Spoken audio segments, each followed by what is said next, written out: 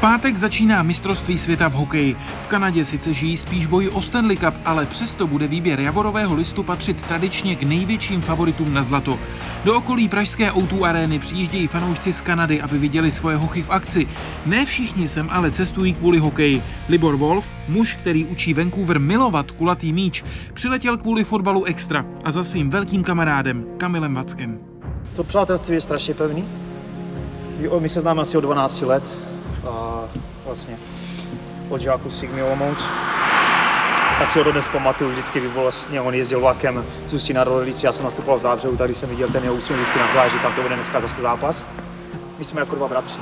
Nebyla to jednoduchá doba, já jsem byl rád, že jsem měl někoho, kdo, kdo se mnou ty cesty uh, prožíval a vím, že vždycky jsme uh, spolu vycházeli hrozně dobře a já musím říct, že to je jedno z mála přátelství, co mi v tom fotbale zůstalo i přes tu velkou vzdálenost. Hokejový šampionát klepe na dveře, ale tyhle dva zajímá jen fotbal, i když přijdou na let.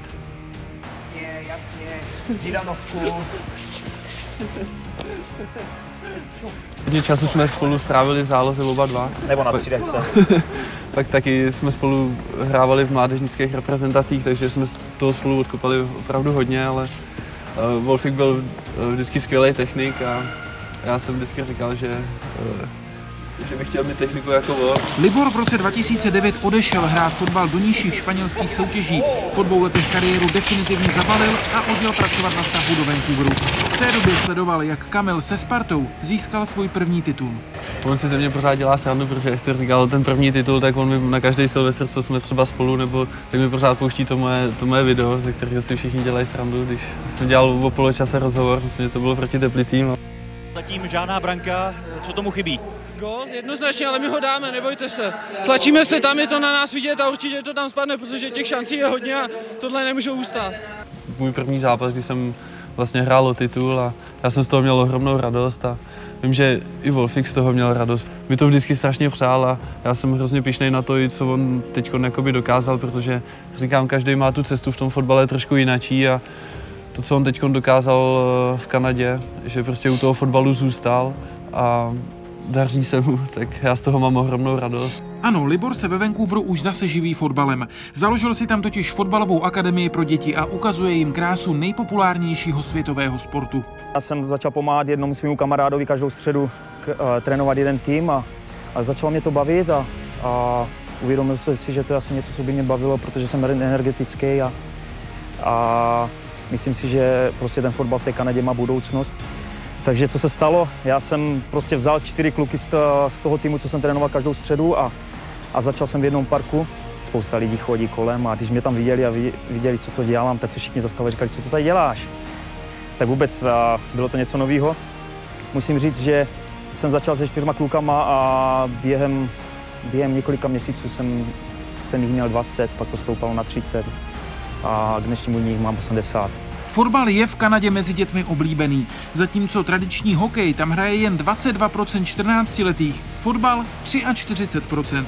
A Liborova Wolf Soccer Academy láká čím dál víc dětí, hlavně díky tomu, že si tam především zdokonalují své technické dovednosti a fotbal je tak pro ně prostě zábava. Ta technika tu musíš podchytit už od začátku a, a ty děti, by měly, ty děti by měly být s balonem už od malička, od pěti, od šesti let. Libor má ambici dostat své hráče do Evropy. Jednoho z nich, Nikolase, už dokonce představil v Německu. Já jsem chtěl hlavně ukázat Nikolasu, jaký to je fotbal v Evropě, jaký je rozdíl a jak, ten, jak ti lidi tím fotbalem žijí. Takže jsme strávili týden ve Freiburgu a potom jsme se vydali do Dortmundu, kde mám, svý, mám dobrého kamaráda Andy Radukunu, což jeho, jeho taťka Marcel Radukunu byl kapitán rumunské reprezentace a bývalý slavný hráč Borussia Dortmund, tak, tak má akademii a dělá vlastně to, co já. A dokázal prostě ho dostat do Borussia Dortmund, Nikola tam trénoval tři tréninky a, a po, po třech tréninkách prostě trenér trenér za náma přišel a říkal, kdyby prostě Nikolas byl v Evropě, tak ho chci příští rok do, do svého týmu. Tahle fotka pochází ještě z doby, kdy Kamil a Libor hráli za českou mládežnickou reprezentaci.